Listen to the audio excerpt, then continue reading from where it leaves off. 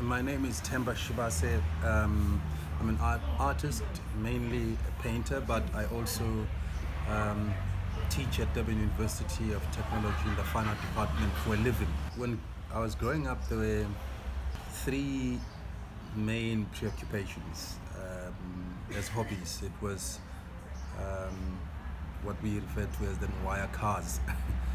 and um, at a later stage was replaced by cycling.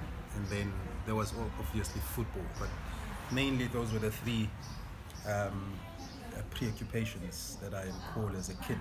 And uh, I fortunately I had an uncle. And he was um, very very gifted. I mean I, I haven't seen stuff like that in, in, in a long time. And the next time I would see stuff like what he used to do was when you see it in, in museums.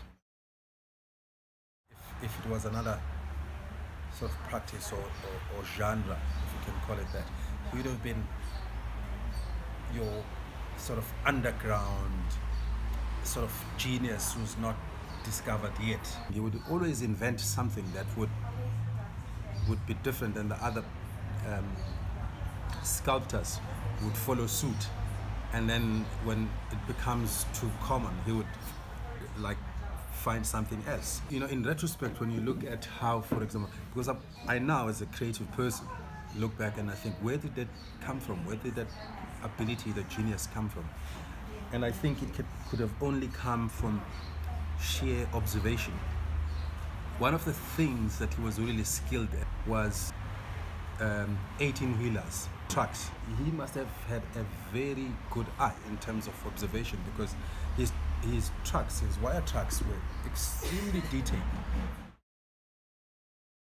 Um, of course, over time, and the fact that it was also just a common practice amongst young uh, black boys in the community to, um, you know, make these and to show your genius, um, invent a technique, invent something, you know, and um, so that also meant that there was competition.